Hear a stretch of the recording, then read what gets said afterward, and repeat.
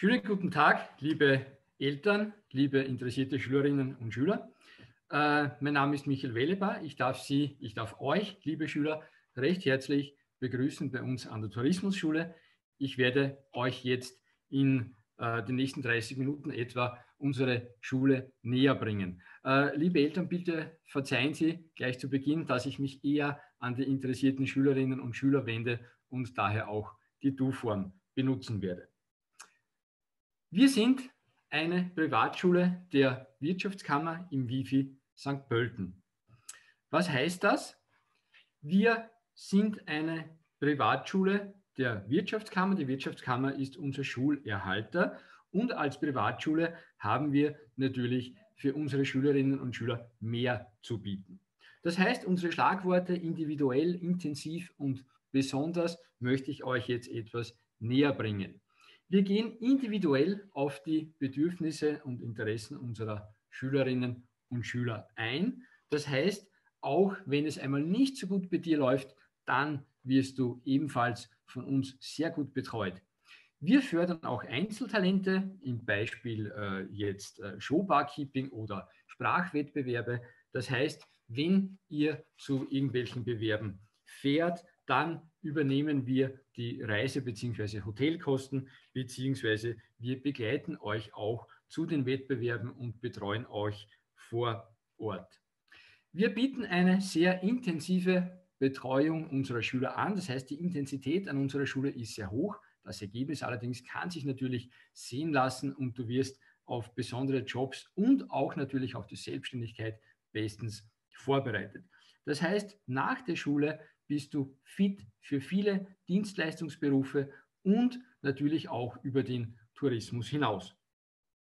Was bei uns an der Schule ganz besonders ist, ist natürlich diese äh, kleinere Klassengröße. Das heißt, bei uns in einer Klasse sind maximal 24 bis 26 Schüler und in den praktischen Gruppen maximal 12 Leute. Weiters wirst auch du während des Sommers, während der Praxisarbeit bestens betreut. Ich möchte euch jetzt im Anschluss unsere beiden Schultypen vorstellen. Ich beginne mit der höheren Lehranstalt für Tourismus. Durch diese Fähigkeiten, durch diese besonderen ähm, Mehrleistungen unserer Schüler sind natürlich die Absolventen kommunikativer, selbstständiger und natürlich in diesen Dienstleistungsberufen besser geeignet und durch diese duale Ausbildung vielseitig einsetzbar. Wir haben zwei Schultypen in einer Schule. Wir haben zum einen die HLT, die höhere Lehranstalt für Tourismus, die fünf Jahre lang dauert und mit der Reife- und Diplomprüfung endet. Auf der anderen Seite haben wir die dreijährige Fachschule für Tourismus unter dem Schlagwort So schmeckt Schule, die dauert drei Jahre und endet mit der Abschlussprüfung. Ich werde euch jetzt beide Schultypen vorstellen und beginne mit der HLT, mit der höheren Lehranstalt für Tourismus. Natürlich gibt es auch hier einige Eingangsvoraussetzungen. Das heißt, kommst du aus einer AHS und hast einen positiven Schulabschluss, so ist keine Aufnahmeprüfung notwendig. Gegenstände, die nicht weitergeführt werden, so wie zum Beispiel Latein oder Musik, zählen hier nicht. Kommst du aus einer Mittelschule und wirst in den Hauptgegenständen nach dem Lehrplan Standard AHS unterrichtet oder in den Hauptgegenständen im Lehrplan Standard unterrichtet und hast ein sehr gut oder ein gut, auch dann ist keine Aufnahmeprüfung notwendig. Kommst du aus einer Mittelschule und wirst in den Hauptgegenständen nach dem Standardlehrplan unterrichten und, unterrichtet und hast ein befriedigend oder ein genügend, dann ist bei uns an der Schule eine Aufnahmeprüfung notwendig. Zu den Qualifikationen der höheren Lehranstalt für Tourismus. Wenn du diese Schule besuchst, dann kommt es zu einer Gleichhaltung bzw. Anrechnung des Lehrabschlusses für gleich fünf Berufe. Das heißt, wenn du unsere Schule abgeschlossen hast, dann gilt das gleichwertig mit dem Lehrabschluss des Kochs, der Köchin, des Restaurantfachmanns, der Restaurantfachfrau, des Hotel- oder äh, Gastgewerbeassistenten, Gastgewerbeassistentin, des Reisebüroassistenten, der Reisebüroassistentin oder auch des Bürokaufmanns oder der Bürokauffrau. Weiters kommt es zum Ersatz der Unternehmerprüfung und der gastgewerblichen Befähigungsprüfung.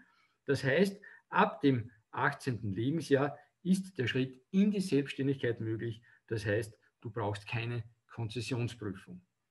Natürlich endet auch diese höhere Lehranstalt für Tourismus mit der Reife- und Diplomprüfung.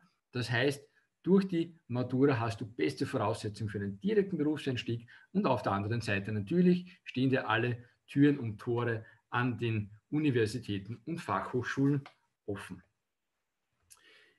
Bei uns zwei Schwerpunkte. Zum einen Food Design und Entertainment, zum anderen digitales Marketing.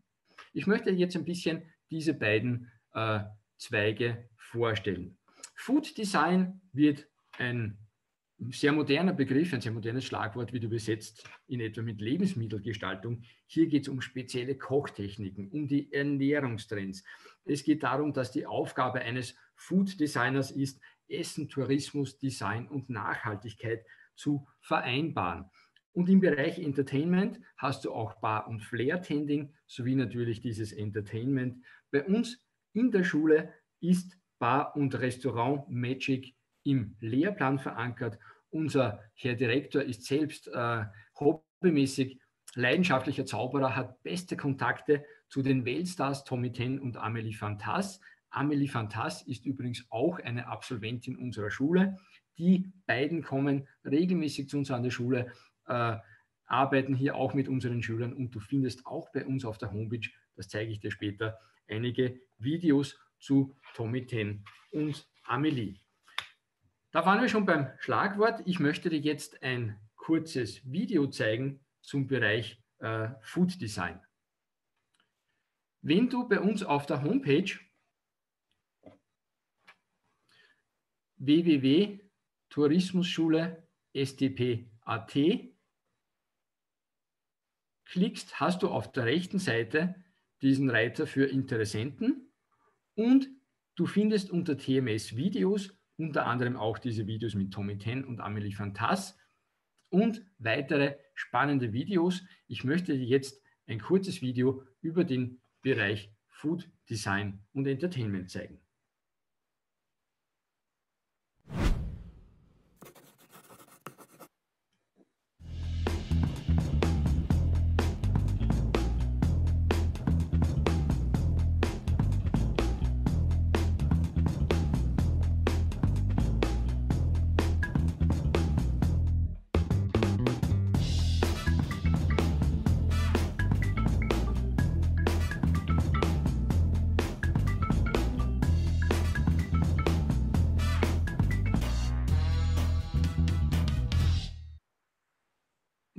Zum äh, digitalen Marketing.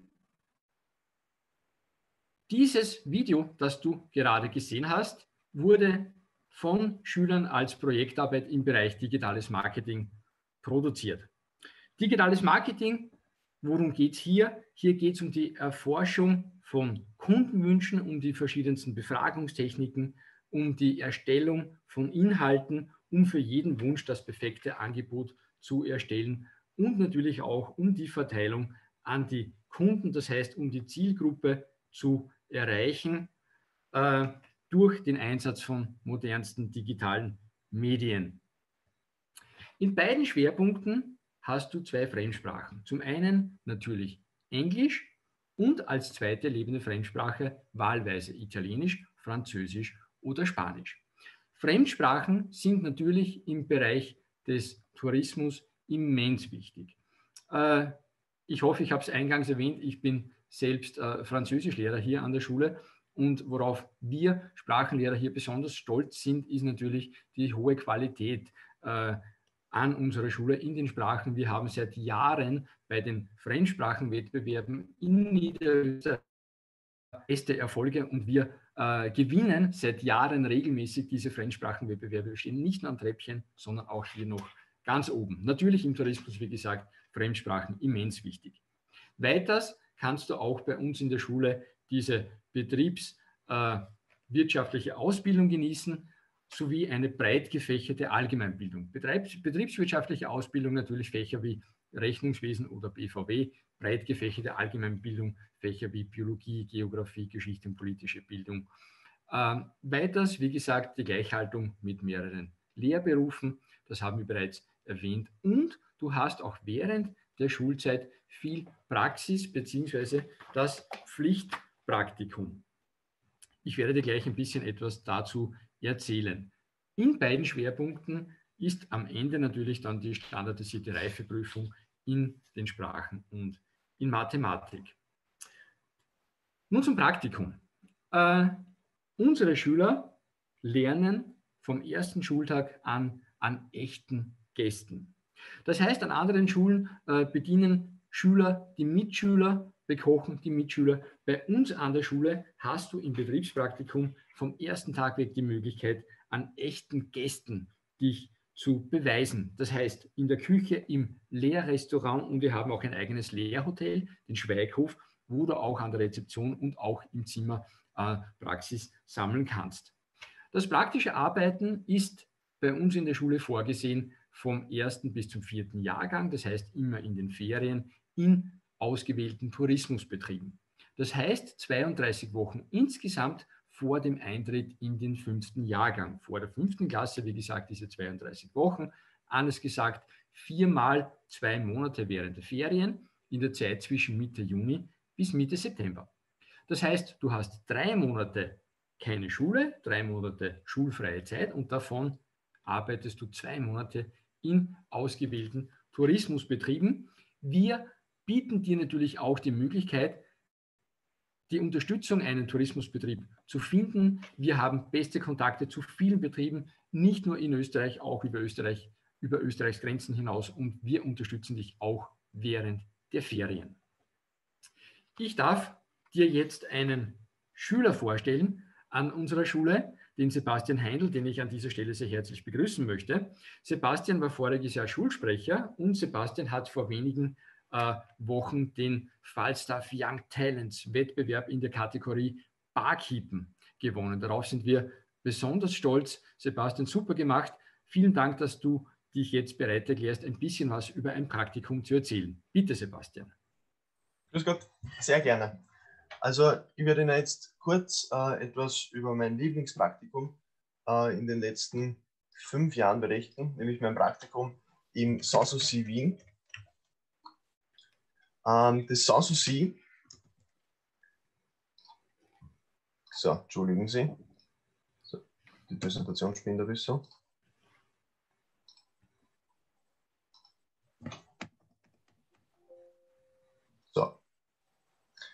Mein Praktikum in Sanssouci Wien, ich muss Ihnen sagen, das war wirklich etwas sehr, sehr Besonderes und ein wirklich gutes Gefühl, im Sanssouci arbeiten zu dürfen es war vom, vom Bewerbungsverfahren bis hin zum Ende des Praktikums eine sehr, sehr schöne Erfahrung. Kurz zum Bewerbungsverfahren. Es ist ähm, darum gegangen, dass man sich selber unter Beweis stellt mit allen anderen Kandidaten, die auch dort als Praktikum machen wollen. Als ich dorthin gefahren bin zum Saususi, habe ich mir gedacht, das werden so drei, vier andere Bewerber sein. Im Endeffekt waren 70 Mitbewerber. Und da war ein kleiner Schockmoment direkt vor Ort.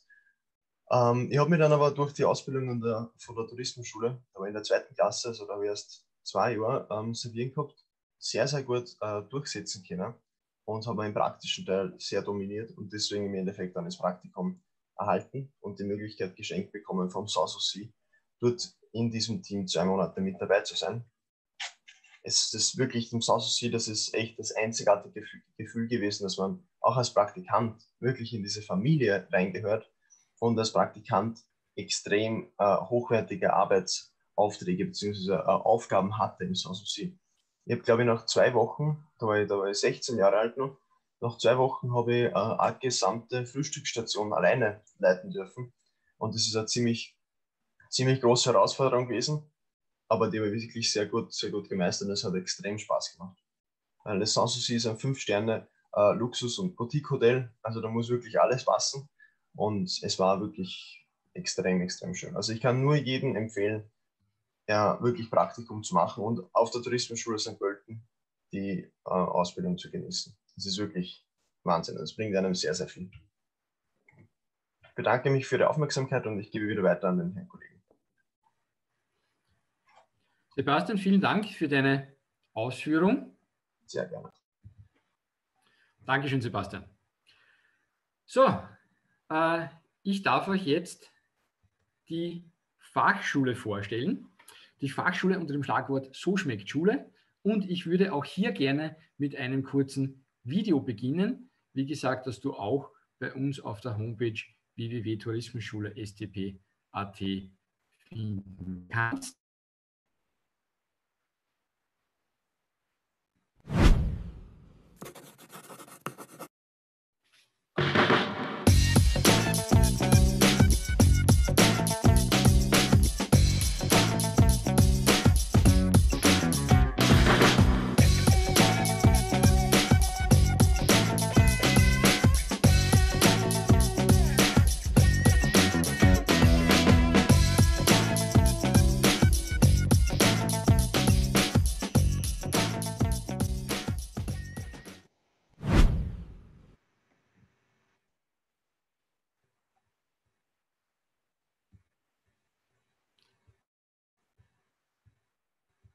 So, jetzt hast du ein paar Eindrücke bekommen zu unserer Fachschule.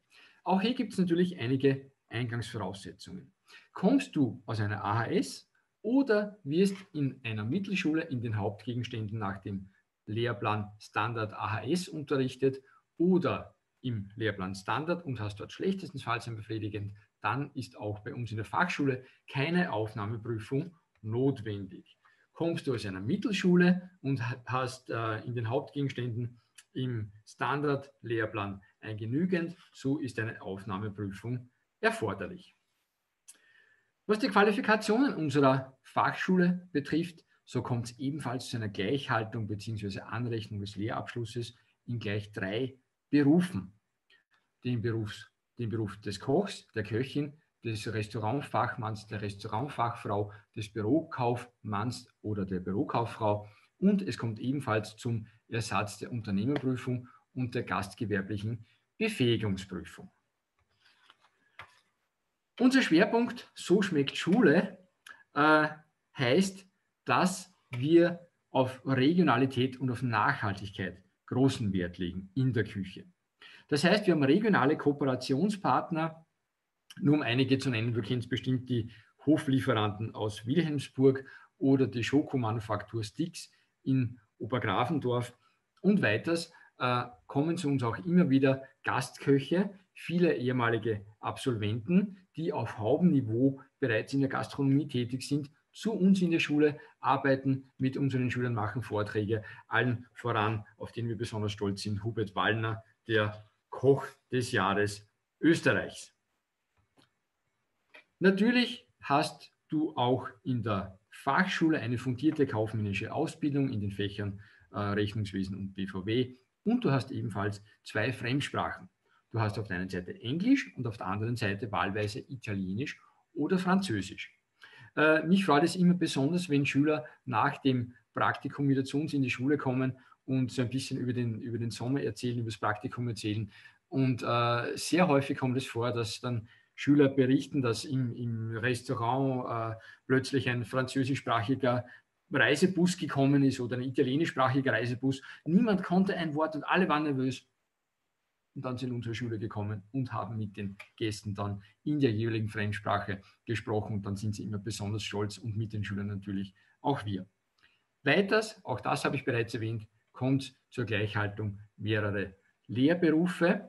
Und auch du hast in der Fachschule viel Praxis während der Schulzeit bzw. des Pflichtpraktikums in den Ferien.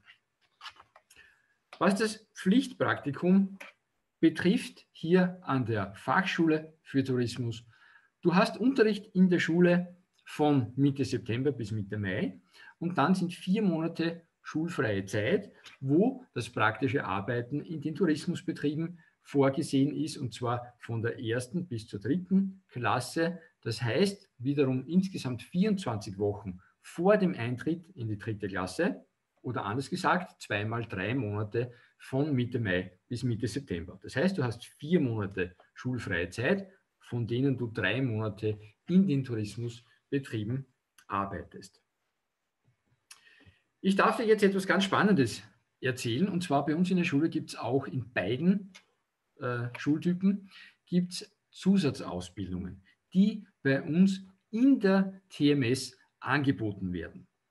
Diese Zusatzausbildungen, die ich dir gleich näher bringen werde, gibt es natürlich auch im Wifi zum Beispiel äh, zu absolvieren. Die kann man auch privat machen, die allerdings sehr, sehr, sehr viel Geld kosten, diese Zusatzausbildung, weit über 1000 Euro. Bei uns an der Schule sind diese Zusatzausbildungen gratis. Das Einzige, was auch hier zu bezahlen ist, sind die Prüfungsgebühren. Da kommt ein externer Prüfer. Das ist natürlich auch, äh, wenn man es privat machen würde. Welche Zusatzausbildungen hast du bei uns an der Schule angeboten? Da gibt es in der vierten und fünften Klasse der HLT das sogenannte Cambridge Advanced First Certificate. Das heißt, ein, eine Art ähm, Qualifikation, eine Art Zusatzqualifikation, eine Bescheinigung, die dir ein gewisses Niveau in, in äh, der englischen Sprache bescheinigen. Weiters gibt es bei uns auch in der zweiten höheren Lehranstalt für Tourismus den ECDL, diesen europäischen äh, Computerführerschein. Du hast auch die Möglichkeit in der ersten Klasse in der drei- und in der fünfjährigen die Ausbildung zum Kaffee-Experten zu machen. Äh, ich selbst liebe auch Kaffee und für mich ist es immer sehr spannend, mich mit Schülern zu unterhalten, die dann über die Anbaugebiete, über die Kaffeesorten, über die Kaffeetraditionen, gerade in Österreich. Äh, Kaffee gibt es so viele verschiedenste äh, Kaffeesorten, Kaffeetraditionen, Kaffeevariationen und das ist ein sehr, sehr spannendes Fach als Zusatzqualifikation.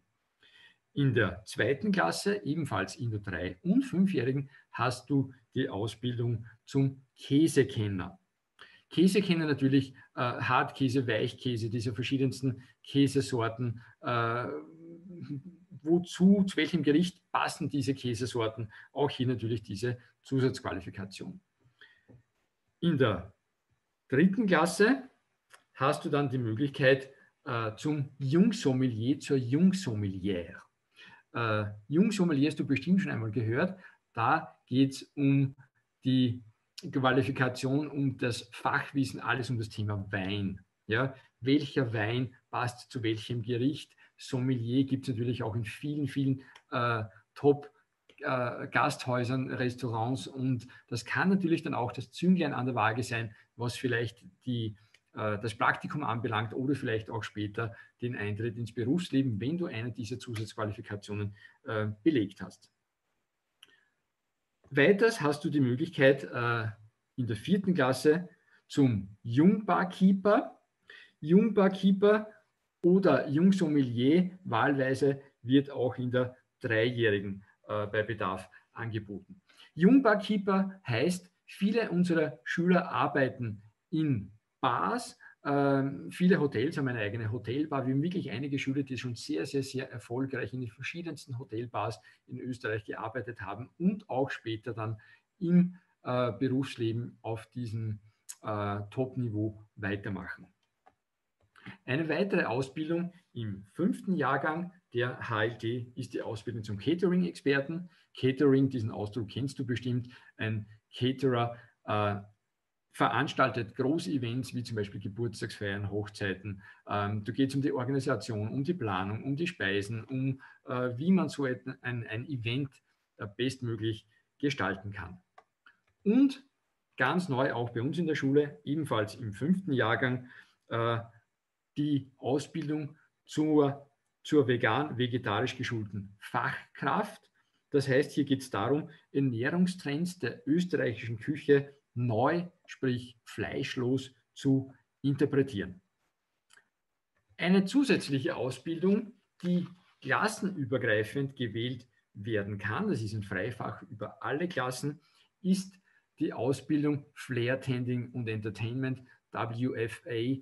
Diese äh, diese Showbarkeeper äh, und dass du dir etwas besser vorstellen kannst, was hier äh, unterrichtet wird, das möchte ich dir ebenfalls jetzt in einem kurzen Video zeigen, das man ebenfalls bei uns auf unserer Homepage findet.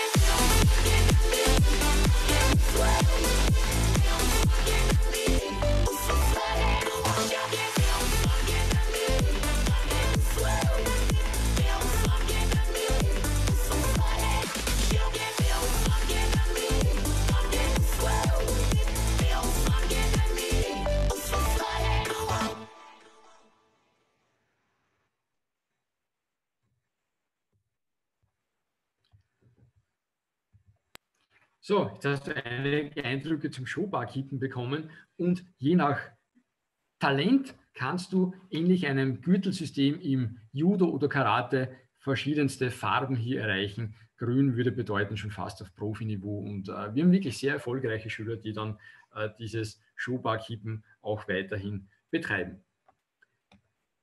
Bei uns an der Schule gibt es natürlich auch Schulveranstaltungen.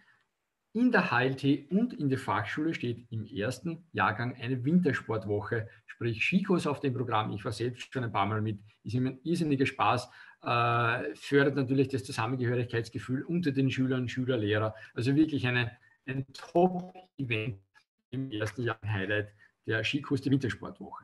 Im zweiten Jahrgang für die HLT und auch für die Fachschule, natürlich abhängig vom Schulschluss, ist dann die Sommer Sommersportwoche. Die Sommersportwoche findet meistens in Kroatien statt.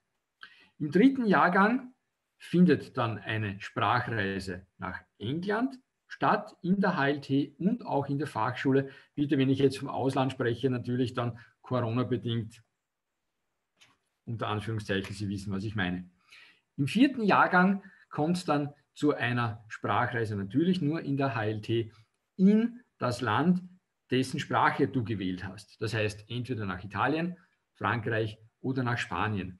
Und hier ist es mir auch als Sprachlehrer immer ein besonderes Anliegen, auch diese duale Ausbildung während der Sprachreisen zu präsentieren. Das heißt, ich nehme sehr gern einen Kollegen, eine Kollegin aus der Praxisabteilung mit, äh, um natürlich dort für mich den theoretischen, den sprachlichen Input zu geben. Wir gehen sehr viel auf Märkte und die Praxiskollegen können natürlich dann top berichten, welche Spezialitäten, welche ähm, Ernährungstrends, welche Zutaten hier im jeweiligen Land besonders gefragt sind. Und wir machen sehr oft zum Beispiel in Frankreich, ein, wir gehen auf den Markt, kaufen Spezialitäten, machen dann ein Picknick, kosten äh, und, und das ist immer wirklich ein Highlight, genauso in Italien oder auch in Spanien. Kommen wir nun äh, zum Kostenbeitrag. Äh, der Kostenbeitrag an unserer Schule schaut folgendermaßen aus. In der Fünfjährigen sind zehn Teilbeträge a 195 Euro pro Jahr zu entrichten und in der Dreijährigen neun Teilbeträge zu 195 Euro ebenfalls pro Jahr. Was beinhaltet der Kostenbeitrag? Da ist dabei die ganze gesamte Infrastruktur. Wenn wir jetzt in der Schule wären, was ja eigentlich der Sinn von so einem Informationsvortrag äh, ist, dann würden Sie unsere top ausgestatteten Klassen sehen mit Hightech und Beamer und äh, Laptop und, und, und. Also das ist wirklich ein Vergnügen auch für uns Lehrer hier bei uns an der Schule zu arbeiten. Weiters ist dabei der gesamte Wareneinsatz für den Kochunterricht. Das heißt, noch einmal, bei uns in Kleingruppen dieser Praxisunterricht, maximal zwölf Personen in den praktischen Gruppen. Jeder Schüler hat seinen eigenen Kochplatz. Ihr müsst euch den Kochplatz nicht, wie es in anderen Schulen ist, teilen. Ihr müsst auch nicht die Waren selbst besorgen. Sprich, in anderen Schulen bekommt ihr eine Einkaufsliste, dann gibt es wieder was nicht, dann habt ihr wieder was vergessen. Die Waren liegen auf eurem Kochplatz, auf eurem Arbeitsplatz. Und dieser gesamte Wareneinsatz ist auch hier inkludiert. Ebenfalls die Kopierkosten. Ihr kennt das vielleicht von anderen Schulen. Da sagt der Geschichtslehrer, okay, kriegen 1,50 Euro für die Kopien und der Biologielehrer möchte noch 1,38 Euro. Und äh, ja, bei uns sind diese Kopierkosten dabei. Ebenfalls inkludiert bei uns sind äh, Kosten für Exkursionen. Diese Kosten sind teilweise auch dabei. Äh, manchmal ist ein kleiner Selbstbehalt noch zu entrichten. Oft zahlt die Schule zum Beispiel den Bus für diese Exkursionen, die auch bei uns in der Schule äh, normalerweise stattfinden, Corona-bedingt momentan natürlich auch sehr eingeschränkt. Und ich habe bereits erwähnt, die Kosten für diese Zusatzausbildungen. Das heißt, ihr werdet von unseren geschulten, bestens geschulten Kollegen auf diese Zusatzausbildungen äh, vorbereitet und ein externer Prüfer kommt dann in der Schule und ihr müsst nur mehr dann die Prüfung ablegen und diese geringe Prüfungsgebühr bezahlen und nicht diese tausenden Euro, wie es vielleicht privat im Wifi oder an anderen Institutionen zu äh, entrichten wäre. Ich darf euch auf unsere Infotage verweisen. Und zwar sind geplant bei uns in der Schule sogenannte Guided Tours. für den Jänner 2021 Guided Tours, wo ihr im Schulgebäude natürlich dann auch von unseren Schülern geführt wird, äh, werdet. Äh, ihr könnt euch unsere Klassenräume anschauen. Normalerweise, wenn wir jetzt in der Schule wären, würde ich dir auch jetzt die Lehrküchen zeigen, die Servierräume zeigen. Ich würde dir äh, die Klassenräume zeigen. Das kannst du hier bei unseren Guided Tours, zu denen ich dich sehr herzlich einladen möchte, sehen. Und zwar für, für den Jänner 2021, für Freitag sind wir bereits, für den 8. Jänner bereits ausgebucht.